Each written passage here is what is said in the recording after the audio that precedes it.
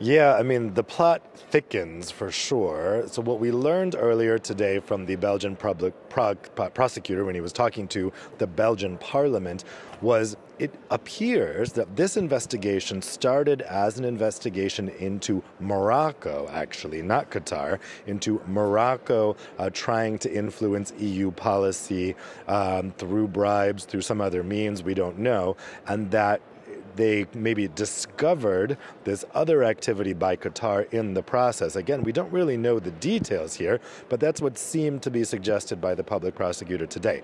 Now, these rumors about Morocco have been going around here for several days.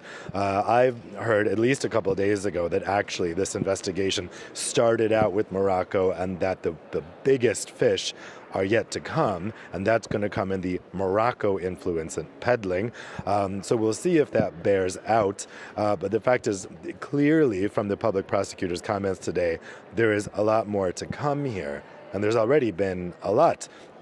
The other big development today, we had these reports from Le Soir here in Belgium and La Repubblica in Italy uh, that they got a hold of court documents that say that Eva Kaili, who was that vice president of the European Parliament, arrested uh, in this sting, uh, that her boyfriend, Francesco Giorgi, is now confessing to having taken the money in order to uh, uh, unduly influence the legislative process. But he's saying that his girlfriend, Eva Kaili, is completely innocent. Again, that's according to Soir and La Repubblica. Uh, he's saying that she really had no idea this was going on, that she didn't know this cash was in their shared home.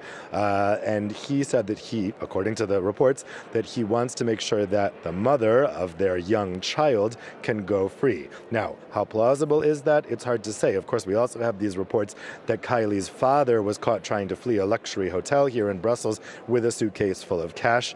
Uh, uh, what would be the explanation for that if she wasn't involved? Uh, we don't know. The other big question is what kind of influence would Giorgi himself alone have been able to secure for the Qataris or for whatever country is involved here? Uh, he has connections to a former MEP, some of these NGO groups, uh, but uh, without that connection to his girlfriend, it's unclear what whoever was trying to do the bribing here would have been buying. And with uh, this uh, scandal widening, the uh, European Parliament uh, fast tracking a pledge of reforms. Let's listen to uh, the Chamber's uh, president. We're talking here about criminal corruption. We're talking about a situation where there will always be somebody willing to pay and somebody willing to be bribed. The minute that uh, we got the notice from uh, the police authorities and the judicial authorities, we acted immediately with unprecedented speed. Uh, Dave Keating, what are the reactions to that?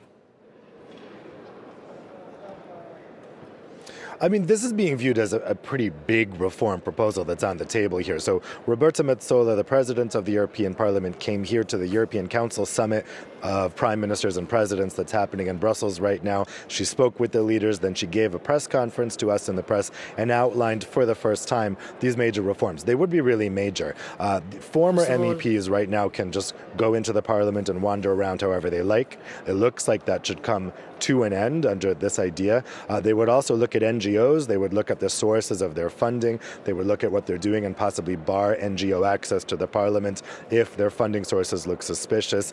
Uh, they would also work with local authorities to maybe end the immunity that's enjoyed by members of the European Parliament. They would obviously have to work with the governments of Luxembourg, Belgium, and France on that. Uh, and also, they, she would be looking to make the transparency register, which right now is voluntary, she wants to make that mandatory, and she wants to end the loophole for foreign countries, which right now don't have to register. These would be pretty big changes. She can't do them on her own. She said they're going to come out with a proposal for this in January, and then this would have to be a decision of the Conference of Presidents. Some of these decisions would have to be taken with other institutions, like that uh, transparency register. It also involves the European Commission. But this would be a pretty big change to how the Parliament does business, and in particular, a big change to who has access to that building.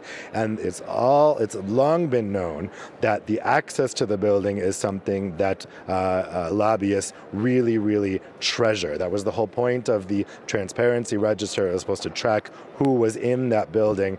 But of course, other people will say, well, you can lobby outside the building, so how effective is any of this? That's the key question, I think. But we'll get the details of that in January. If it's like Metsola was describing, it would be fairly significant change. Dave Keating